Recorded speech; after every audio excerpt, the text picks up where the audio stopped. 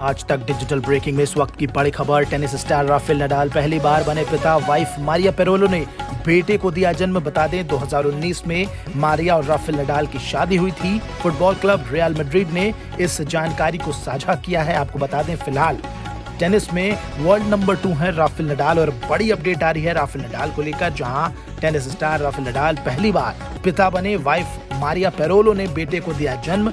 2019 में मारिया और नडाल की शादी हुई थी।